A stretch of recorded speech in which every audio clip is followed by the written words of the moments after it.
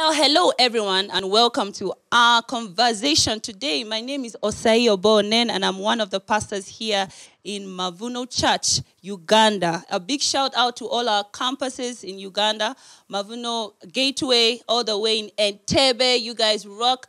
Mavuno 360, all the way in Kabalagala. God bless you guys. And to you who has joined us this morning, you are most welcome.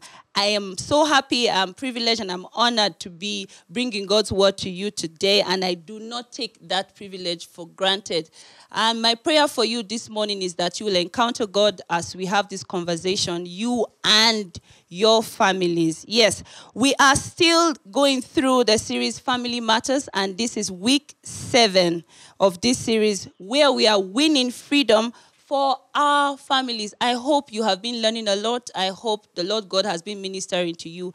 I hope you have met with Him uh, throughout these weeks. Allow me to start by telling you something I saw uh, while preparing for this conversation today. It is one of the Red Table editions. Uh, I, I, know many of you watch Red Table, yeah? Yeah. By uh, Jada Pinkett Smith and her, her mom and her daughter. So this particular one was an interview of Bobby Brown. Yes, Bobby Brown, where he was talking about his relationship with Whitney. And he summarized his relationship in this sentence. He said, We met, we, we fell in love, and at the center of our relationship was drugs and other forms of abuse. He said their relationship was the best thing until it became the worst thing. We all know the tragic uh, story of this couple. Uh, they got married, they broke up. Whitney died of a drug overdose. Uh, their daughter, Bobbi Kristina, also died of a drug overdose. And a son, Bobby, Bobby Brown's son, Bobby Brown Jr., died of an overdose, a mixture. They call it a cocktail of drugs. He died of a drug overdose. And a, a young man who Whitney had adopted when he was uh, 12, Gordon, Nick Gordon, he died of a drug overdose as well. And so many other stories like that. Our greatest pop icon, Michael Jackson, also died of a drug overdose. Who else? Many people that we can name. DMX, yes, died of a drug overdose. Uh, and it's such a sad, sad story. And it, it brings me to the point of just wondering what might have been happening in these situations. May God rest these souls. Now, it is my desire that as we start off today, that I'm able to point out something very important to us. My, my, I am not trying to make us sad or make us feel bad. My desire is to point out something very uh, strong to us today. Now, let's go back on the statement that he made. He said it was the best thing, his relationship, Bobby Brown was saying this, that his, his relationship with Whitney was the best thing until it became the worst thing. And that could be the mantra of for any addiction any addiction. That is how it's, it's always said. It, is, it started on a good note and then it became the worst thing that ever happened to me.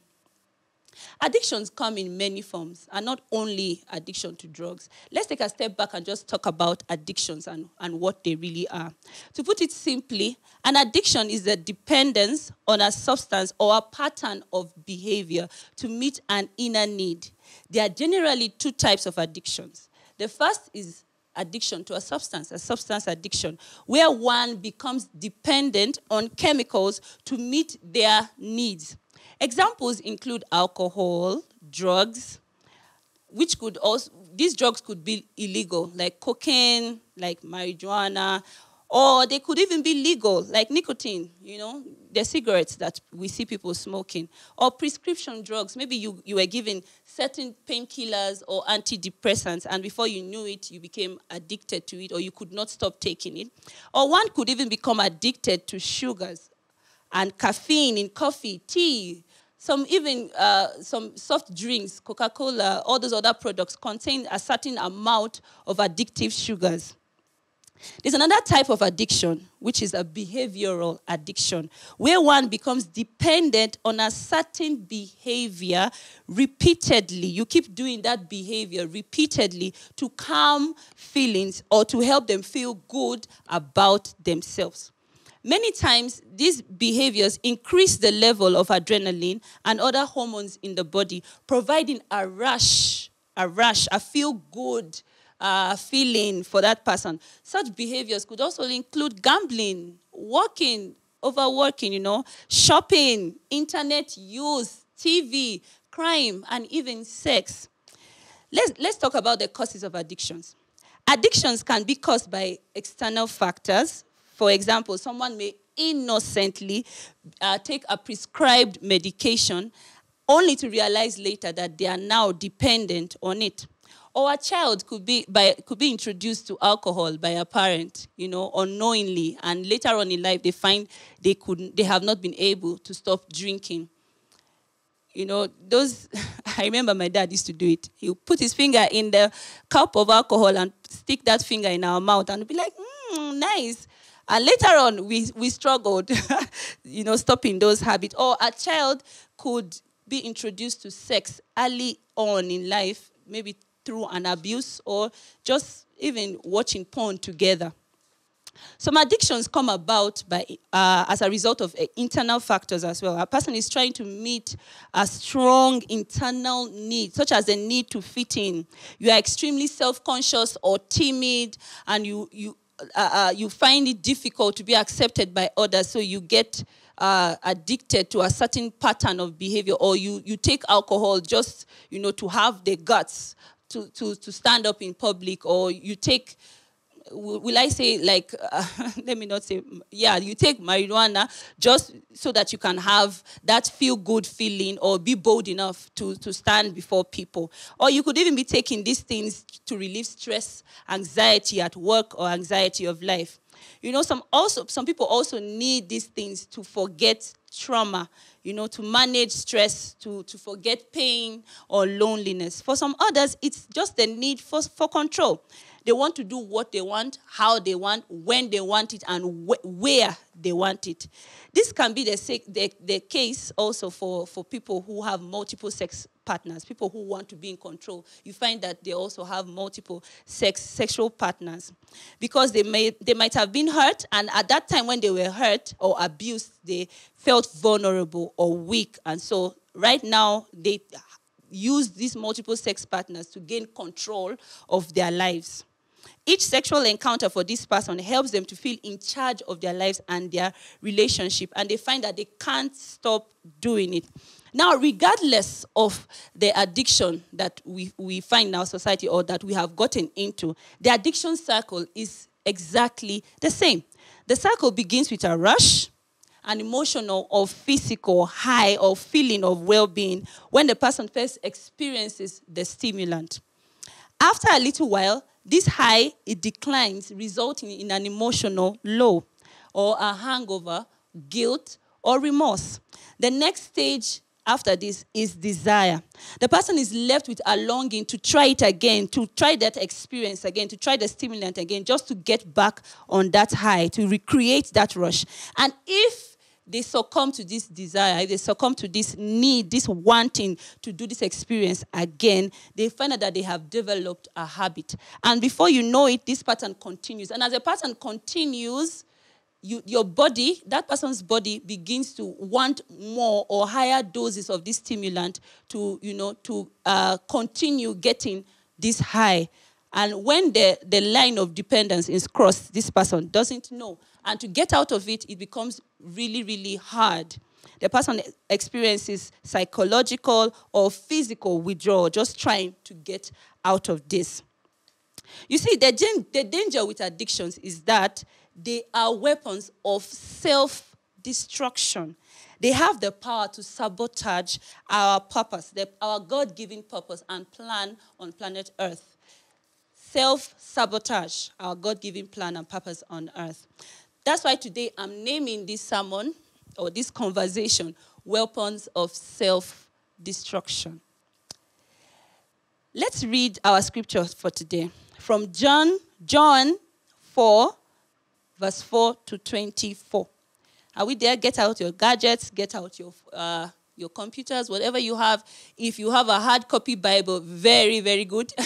get it out. Let's read this together. John 4, 4 to 24. Now, Jesus learned that the Pharisees had heard that he was gaining and baptizing more disciples than John. Although, in fact, it was not Jesus who baptized, but his disciples. So he left Judea and went back once more to Galilee. Now he had to go through Samaria. So he came to a town in Samaria called Sychar, near the plot of ground Jacob had given to his son Joseph. Jacob's well was there, and Jesus, tired as he was from the journey, sat down by the well. It was about noon. When a Samaritan woman came to draw water, Jesus said to her, Will you give me a drink? Verse 8 His disciples had gone into town to buy food. Then the Samaritan woman said to him, You are a Jew, and I am a Samaritan woman. How can you ask me for a drink? for Jews do not associate with Samaritans. Jesus answered her, If you knew the gift of God and who it is that asks you for a drink, you would have asked him and he would have given you living water. Sir, verse 11, Sir, the woman said, You have nothing to draw with, and the well is deep. Where can you get this living water? Are you greater than our father Jacob, who gave us the well and drank from it himself, as did also his sons and his livestock? Can we just take a moment right there and pray before we even continue with our uh, conversation today? Bow your heads wherever you are. Dear Lord God, we thank you for your word today. Uh, we thank you for even the opening of your word. We ask that even as we delve into this matter seriously, that Almighty God, you will speak to us, that your Holy Spirit will minister to us. We pray that your presence will be felt in our homes, in our living rooms, wheresoever we are right now, that we will experience, Lord God, your power to save, to heal, and to deliver. And at the end of this, that this will be the beginning, Lord God, of great things in our lives to the glory and honor of your name. And all God's people say, Amen. Yeah, so let's continue. Uh, most of us either know this story from Sunday school or you might have heard of it from different circles. Uh, I don't know, maybe people have used it in seminars or have used it in Christian gatherings. You see, in this story, Jesus is asking this Samaritan woman for a drink of water to quench his thirst. I'm pretty sure that she was thinking to herself, how can someone like you, a Jew, be asking me, someone like me, for a drink of water.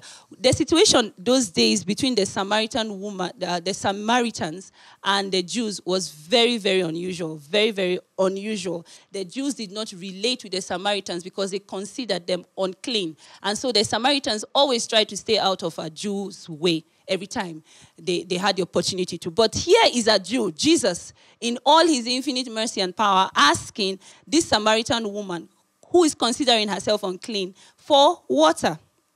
And Jesus continues having a conversation with her. I think that was the first thing, the first unusual thing he did was sit by the well. And the second one was even ask for water from this uh, Samaritan woman. Another thing that Jesus asked, said to her, he said, If you knew the gift of God, if you knew the gift of God, you would be asking, you would actually be the one asking me for a drink and I would give you living water. And I'm very, very sure that the Samaritan woman at this point was looking at him and, and wondering, who is this human? Who is this thirsty traveler asking me for water? and she even asked, she said, deep well. The well is deep. Do you even have anything to draw water? Do you have a, you don't have a bucket? I don't see a bucket on you. I don't see a pot on you. I don't see anything with you to draw this water. But here you are planning to have water from here. And you are even talking about living water. What's this living water?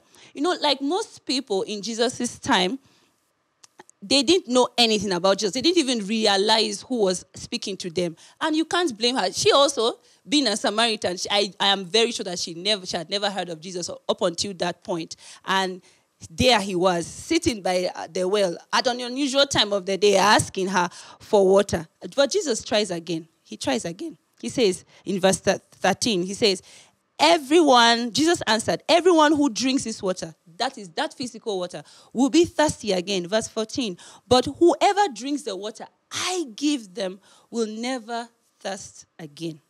Indeed, the water I give them will become in them a spring of water welling up to eternal life. Jesus, right here, was not talking about physical water, actual water that we could see. He was talking about a different kind of nourishment. He was talking about a spiritual kind. He was talking about a different kind of sustenance, one that quenches a different kind of thirst. It's not like any other water. Because when you drink regular water, by the time you are drinking it, it is out of your system and you return to that well to get water. Jesus was talking about a kind of water that bubbles up from the inside of you. That one that you will drink and you will never be thirsty again.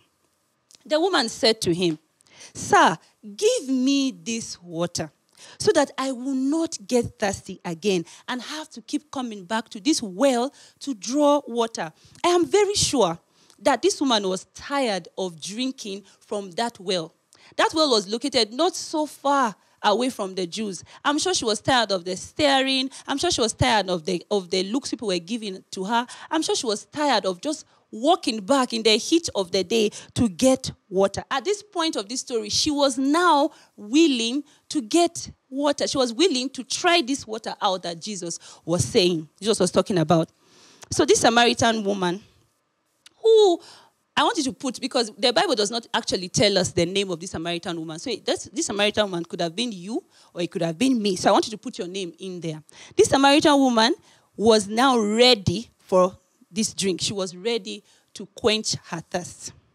Like me, this woman, at this point of her life, was done. She was tired of coming back to a well that was never satisfying her because her thirst was not physical. I am like this Samaritan woman. You are like this Samaritan woman. My name is Osayi Onen, and I thirst. I thirst. I thirst for hope. I thirst for affirmation. I thirst for security. I thirst to be loved. I thirst for acceptance. We all, in one way or another, are spiritually thirsty. There's a God sized vacuum on the inside of us waiting to be filled. We have tried to satisfy this thirst, to fill this vacuum in all sorts of ways. We have tried food, we have tried caffeine. We have tried sugar. We have tried substance abuse. I have tried porn. We have tried masturbation. We have tried th- theft. We have tried fighting, brawls. We have tried crime. But we haven't succeeded. You see, our thirst is deeply, is usually deeply rooted in our desire for something deeper. If anyone would care to look closer at this whole situation, they would realize that we, what we are craving for is more than, it is a feeling, that, that satisfaction or that emotional rush, that high that we get from, from that addiction than even the substance that we are, that we are using. There's always a sense of momentary relief after we use that substance, after we, we engage in that act of addiction. And that is what we are actually looking for that fleeting, that fleeting feeling. So it goes way deeper than the substance or the behavior, it goes way deeper than our eyes can see. As a society, as a global society, we are searching for meaning. We live in a time where everything and anything is available to us at the snap of our fingers, but we are still not satisfied. We are thirsty, thirsty for purpose, thirsty for a deep connection, thirsty for community. In a world where there is more than enough to go around, we are still thirsty. We keep drinking from the wrong well with the hope of satisfaction, which doesn't happen and constantly brings us back to the same exact spot where we started thirsty. When what we really want, what we really need, like the Samaritan woman, what we truly are thirsty for is the living waters of God's Spirit, the water of eternal life, life that is full and life that lasts. We are thirsty. We have always been thirsty. We just don't know what it is we are thirsty for. We don't know exactly, we can't seem to put our fingers on it, what it is we are, exact, we are looking for. Hmm. But the good news is this that we don't need to go anywhere to get this living water. It is available to us when we seek it, it is available to all who are ready for it. But the catch here is this letting go is never that easy. Letting go of the addiction, letting go of the pain that has resulted in this situation. They need to feel wanted. They need to feel loved. They need to feel security. They need to feel safe. Letting go of that need is not always easy. When we read the scripture, that whole story to the end, you hear the Samaritan woman trying to divert attention from herself, like any one of us would have done, like I would have done. She argues her case against the Jews. She says the Jews have always imposed that they have the other people, every other person has to come to Jerusalem to quench their thirst. This is even after she has acknowledged that she had five husbands. In the bid, in the bid to quench her thirst, she has had five husbands. She, she, she, she, has, she has been there, done that, done everything that she can to quench her thirst. And here she is stalling when the Messiah is standing before her, stalling like every one of us would have done, like I would have done. She says, Change me, Lord, but not today. Can I just hold on to this thirst a little bit? Heal me of addiction, but don't take away the high. But Jesus wanted to heal her at that moment, just the way he wants to heal us right now. He wanted to deliver her. So he, re, he, he reveals himself to her in verse 26. He says, I am the Messiah. How many times have we heard Christ calling out to us like this? Opening his arms and offering hope, offering deliverance, offering freedom from, from that addiction. We hear him in our family when our family members encourage encouraging us to quit that addiction. When we lose our job due to that addiction, that is God speaking to us right there, telling us, you know, it's time to let go of this thing. It's time to hand it over to me. Jesus gives his answer in verse 23. He says, A time is coming, yet it is here when the true worshippers will worship the Father in spirit and in truth. What our Lord was telling this lady, was saying to her, and is saying to many of us today, is that the waters he offers cannot be found anywhere else but in him. In his spirit, who is not limited to any specific time, his spirit is not limited to any specific place. Neither is it limited to language. Neither is it limited to the future or to the past. It is for anyone who seeks to know the truth about themselves. It is for people who are thirsty and are ready to quench their thirst. So, are you ready this morning or today, whatever time you are watching? Are you ready to quench your thirst? Are you ready to stop drinking from this well of self destruction? As I conclude today, I want you to know that there's salvation and deliverance from our addictions. There is freedom from dependence on, this, on these wells of self destruction. And that freedom is found in Christ. But the only way to these things that Christ is offering us is for us to acknowledge and accept that we are thirsty that we need to, that there's a God sized vacuum inside of us that needs to be filled by Him. And we come willing to embrace these living waters that Christ is offering. This is how we can do this. First, we need to acknowledge that there's a problem. Don't be afraid to confront like Jesus and address the real issues. Why do I keep drinking from this well of self destruction? Why is this addiction in my family? Why is alcoholism in my family? Why is sexual abuse going on in my family? Why is incest going on in my family? Why is uh, homosexuality going on in my, in my family? We must be willing to acknowledge the problem. That there's a problem. There's a problem right here. It needs to be solved. We must seek accountability. The Bible calls the devil the accuser of our souls. He loves to hold a secret over us. So he would, he would tell us, he would say, you know what, don't share. Nobody needs to know. This is only happening to you. If you share, what do people think about you? If you share it, what would they say about you?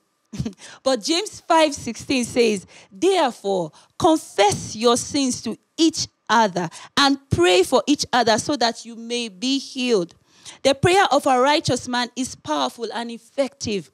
Break the secrecy, bring the darkness to light. You need to share about the issues with someone who can walk with you and who can help you. It could be a prayer partner, it could be a pastor in the church, it can be a relative, or it can even be a therapist, a professional. Yes, go seek therapy. Don't think it's a bad thing. You know, there's an African culture that thinks that therapy is a, is a, is a bad thing. No, therapy is not bad. Go seek therapy. If that's how far you are willing to go, go. Go the extra mile. Open it up. Open it up. Starve the habit. You need to investigate what are the triggers that cause you to go back to that habit, that causes you to go back to that place of self destruction, so that you can know how to deal with them. For some people, it might be stress, it might be loneliness, it might be anxiety, it might be just overworking, it might be boredom. the devil is tricky. You need to identify what it is that keeps taking you back to that well and begin to dry that well up. Begin to starve that habit. Find an alter- alternative coping mechanism. Maybe you need to go to the gym. Maybe you need to take a walk. Maybe you need to read your Bible more. Maybe you need to take that time and pray more. Recognize what it is and commit it to God's hands and begin to work towards stopping it. So, what's your weapon of self destruction?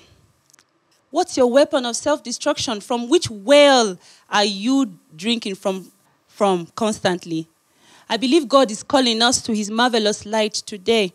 His arms are open to save, heal, and deliver us. He says, All who are weary, come to the well of living water. Drink and drink deep, and you will not thirst again.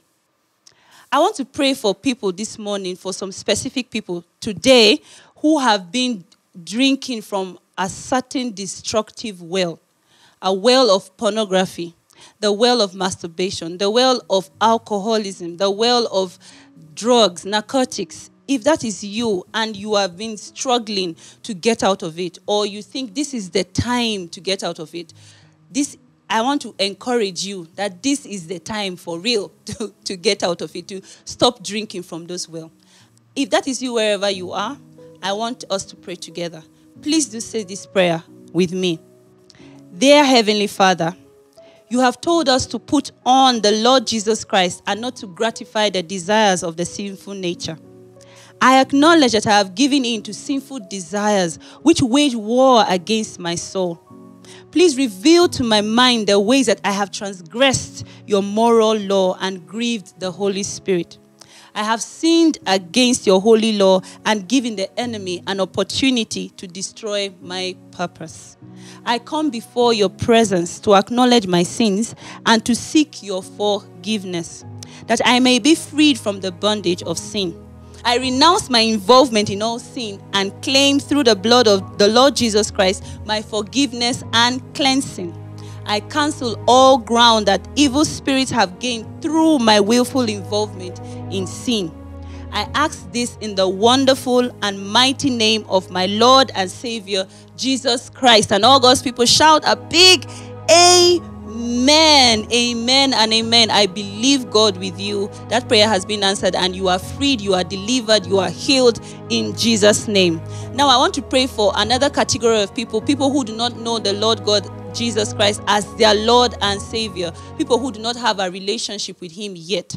You have not found a love relationship with Him yet. I want to pray for you wherever you are, pray with you wherever you are, that you accept Jesus today. So please say this prayer with me.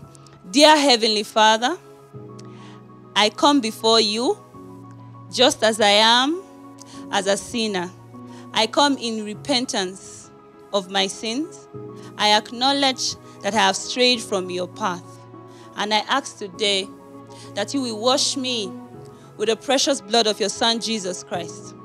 I accept the Lord Jesus Christ today as my Lord and personal Savior. I accept the Holy Spirit as my friend, keeper, and comforter. I accept the love of the Almighty God into my heart. In Jesus' name I have prayed. Amen, amen, and amen. God bless you, people. Thank you so much. If you have prayed that prayer of repentance and accepting Jesus Christ as your Lord and Savior into your heart today, I want you to reach out to us with this number on the screen 078 please reach out to us. We would like to pray with you. We would like to walk this journey with you. If you also need prayer in any way, for whatsoever reason you want uh, to be connected again with Christ in any way, please do reach out to us with this same number. There's a pastor on the other side waiting to pray with you, to have a conversation with you, and to just walk this journey with you. I want to also invite each and every one of us, especially those who have just said those prayers with me, to the family night happening this Wednesday, a time where we just connect with each other, where we get deeper into God's word, and where we also pray with each other as a church family and as families that make up the church. This Wednesday at 7 p.m. for just 30 minutes, we will be delving deeper into God's word. So don't miss it.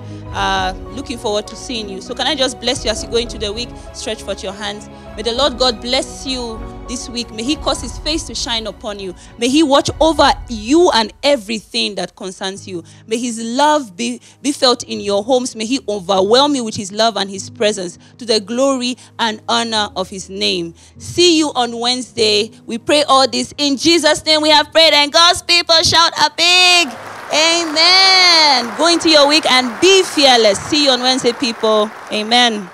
Wow, thank you so much, Pastor Osayi, for that word. We are so excited for the message that you have been able to share with us today.